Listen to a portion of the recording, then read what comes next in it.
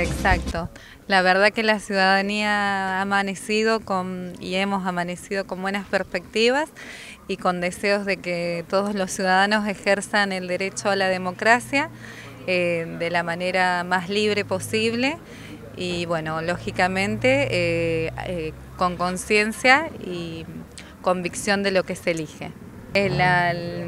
también la gente de distrito lógicamente aprovecha el día domingo para disfrutar en familia. Y tenemos un día hermoso. Es un día hermoso, espléndido, soleado, así que con las mejores perspectivas.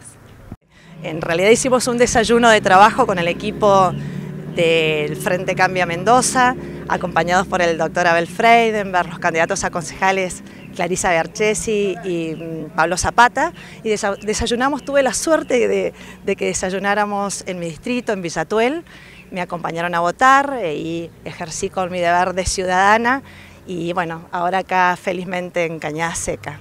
Sí, la verdad que eh, yo vivo en Villatuel y en los pueblos, como lo ves acá, el acto electoral por ahí se vive como una fiesta hasta familiar.